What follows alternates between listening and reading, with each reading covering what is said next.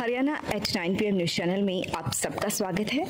आइए आपको कराते हैं खबरों से। खरखुदा रोहना मार्ग पर नेशनल हाईवे 334 पर बसेगा खरखुदा का सेक्टर 11 एनसीआर वाटर चैनल नहर से लिया जाएगा पीने के लिए पानी।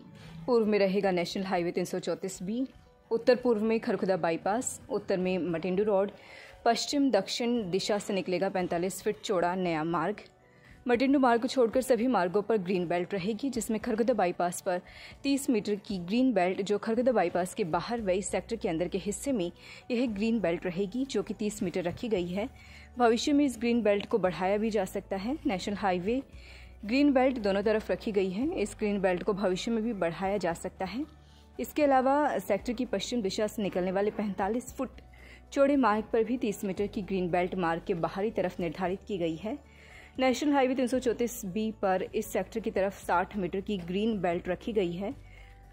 सेक्टर को अलग बनाने वाला 45 मीटर चौड़ा मार्ग ब्राइटवे स्कूल के पास से होता हुआ खेतों के रास्ते नेशनल हाईवे तीन बी मार्ग पर पेट्रोल पंप से पहले कनेक्ट होगा।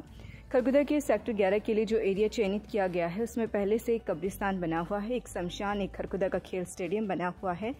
आईटीआई बनी हुई है। व मटिंडू मार्ग पर एक मंदिर बना हुआ है।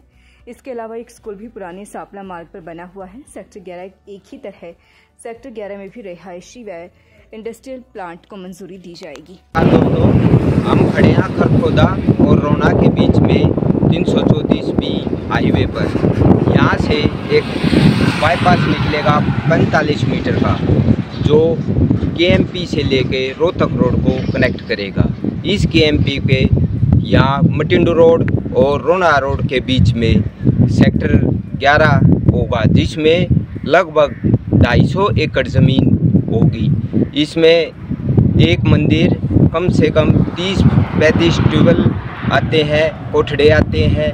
लगातार खबरों से बनी रहने के लिए चैनल को लाइक, सब्सक्राइब और शेयर ज़रूर करें। धन्यवाद।